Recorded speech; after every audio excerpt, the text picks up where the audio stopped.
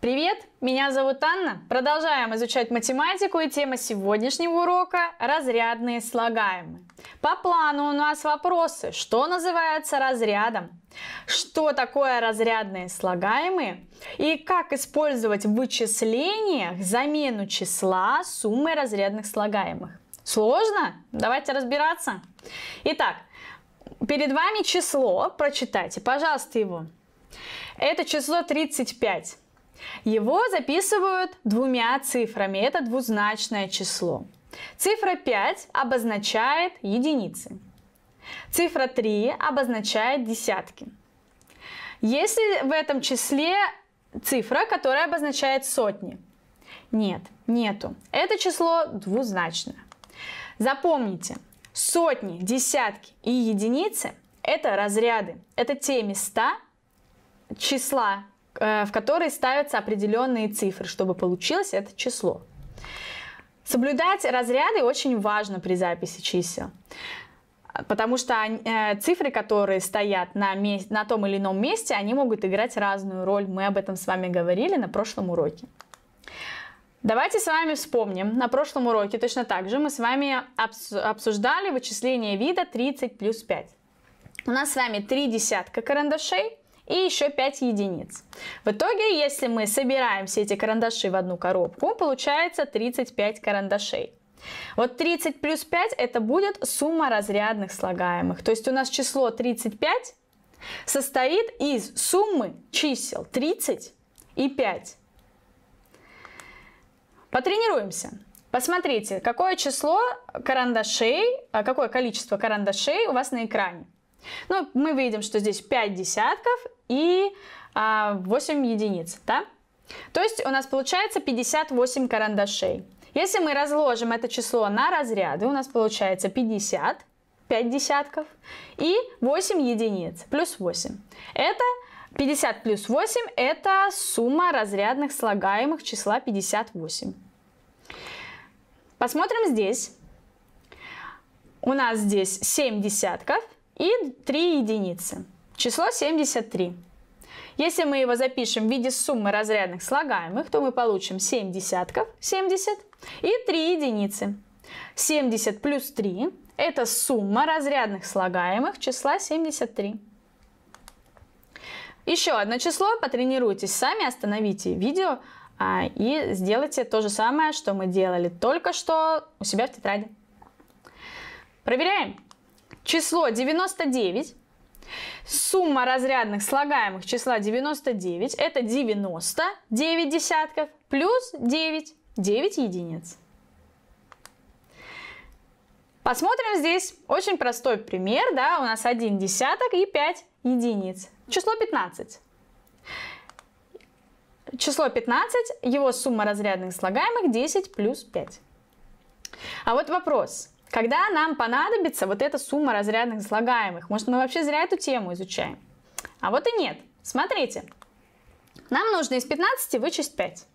Мы с вами знаем, что 15 это сумма чисел 10 и 5. То есть 10 плюс 5 это будет сумма разрядных слагаемых числа 15.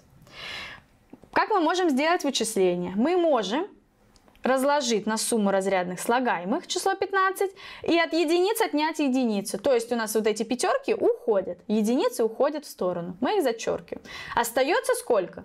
Остается 10, 1 десяток. Вот его мы и будем писать в ответе. Этот пример кажется простым, и, возможно, вы скажете, что вам не нужно использовать здесь э, этот способ, да, не, не нужно раскладывать число 15 на сумму разрядных слагаемых, но э, когда мы будем изучать числа до миллиона и так далее, вам это очень пригодится. Э, хорошо бы, чтобы мы это усвоили с вами на таком простом материале. Так что дома попробуйте э, потренироваться, да, используйте учебник, рабочие тетрадки, э, если это будет необходимо необходимо, а можете попридумывать выражения самостоятельно. Так, ну что, еще одно задание.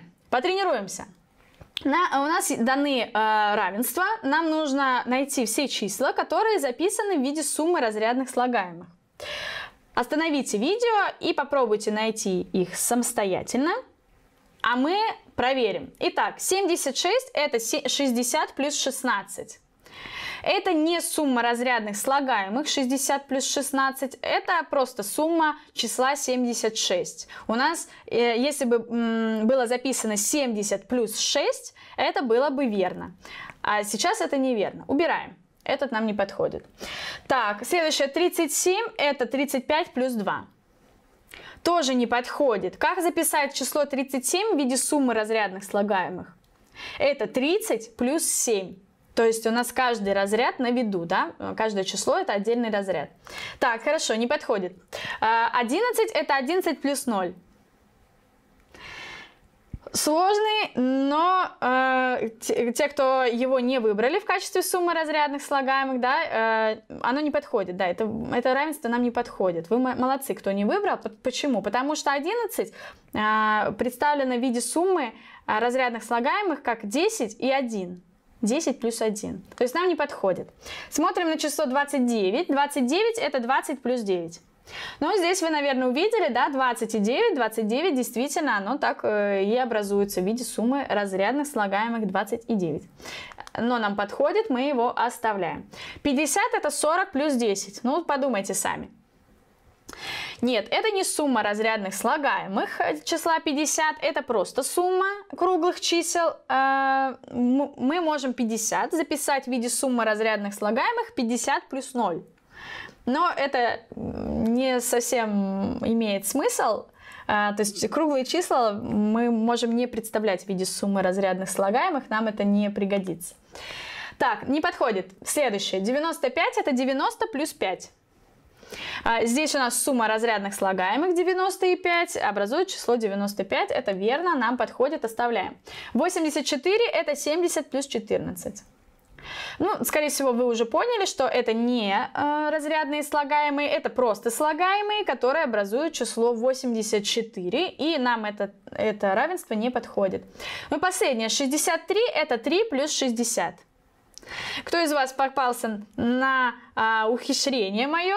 На, а, посмотрите, пожалуйста, здесь поменены местами да, а, слагаемые. А, то есть, если мы с вами поменяем их обратно, 63 это будет 60 плюс 3 да, а, но поменяли местами, а, и при этом это остается, да, это выражение 3 плюс 60 остается суммой разрядных слагаемых. А мы с вами знаем, что от перестановки мест слагаемых сумма не меняется. Поэтому это тоже верно, это оставляем. Ну что, кто из вас справился с этим заданием правильно, кто э, отметил себе все эти три выражения, вы большие молодцы, поставьте себе плюсик в тетрадках, э, это здорово, что вы научились в этом разбираться. Подводим итог.